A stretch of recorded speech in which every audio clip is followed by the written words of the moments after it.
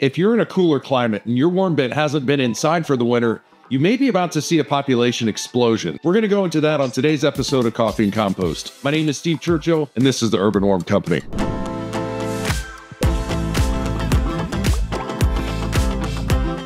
It never ceases to amaze me.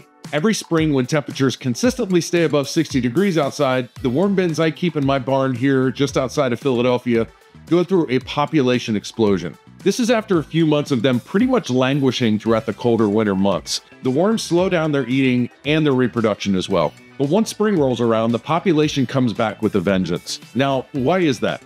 Did the worms just decide to start getting busy and reproducing again? Maybe, but what's really happening is that the cocoons the worms created over the winter all likely started hatching at the same time. And here's why. To keep a worm bin going, you really need to keep the temperatures in the vermicompost over 55 degrees. This is true for red wigglers and European nightcrawlers. And for those of you using African nightcrawlers, that temperature really needs to be over 70 degrees. As the temperatures approach 55 degrees and go below that, waste processing, reproduction, and general activity start to decline.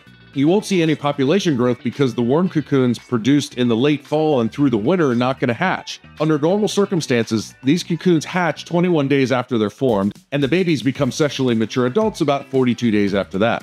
But in the winter, they'll remain in a suspended state of animation, kind of like Han Solo when he got frozen in carbonite at the end of Empire Strikes Back. These cocoons will stay unhatched, but still viable until, and this is a general rule of thumb, temperatures in their habitat reach 55 degrees and remain there for three days. At that point, all of the cocoons will hatch right around the same time, and they'll become adults right around the same time. So you may go from wondering where all your worms went in February to wondering where all these worms came from in April. It's pretty awesome. This isn't just worms in a worm bin though. This happens in the wild too, especially for the Amynthas agrestis species also referred to as an Asian jumping worm, and this is not awesome. These guys are a real problem in the upper Midwest of the US through the Northeast, and they're consuming a protective layer of decomposing leaves that serve as a habitat for the forest ecosystem, and they're doing it at an alarming rate. These worms don't survive the winter, which is a good thing, I guess.